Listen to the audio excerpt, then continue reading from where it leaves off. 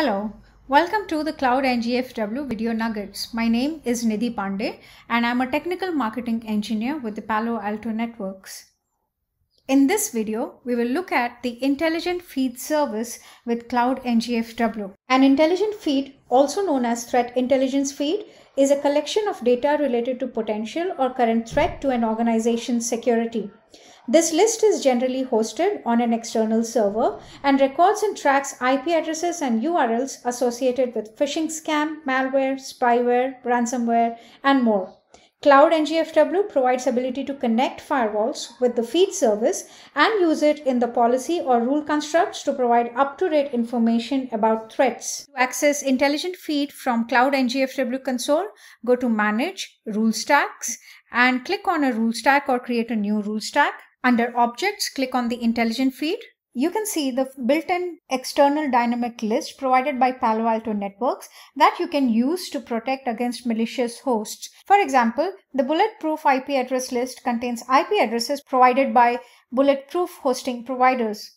The high risk list contains IP addresses from threat advisors by trusted third parties. Similarly, known malicious IP address list contains IP addresses that are verified as malicious by Wildfire, Unit 42 research, and other telemetry data. Cloud NGFW receives updates for the feeds, allowing it to automatically enforce policy based on latest threat intelligence. You cannot modify the content of built-in list, but you can go ahead and create a custom feed object.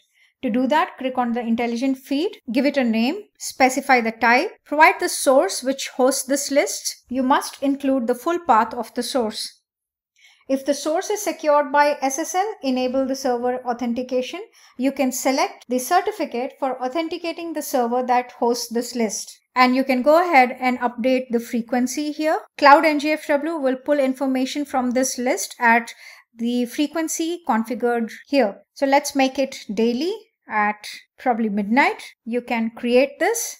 Now let's create another custom feed of type URL.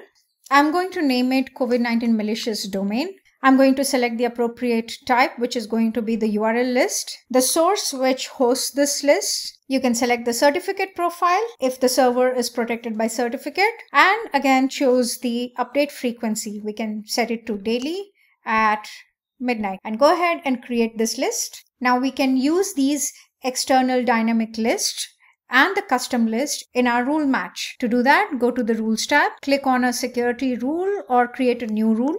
I can use the feed objects as a match criteria for my source and destination.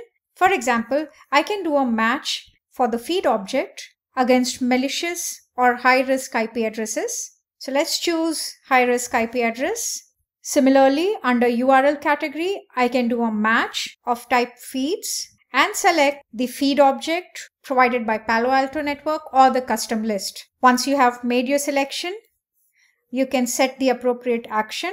I'll select it as deny since I want to block the traffic from the source to any IP address listed in the high risk category. Once you have made your changes, save it and deploy the configuration to take effect. This brings us to the end of this video. Hope you liked it. For more information, please visit our live community page for Cloud NGFW. And thank you for watching.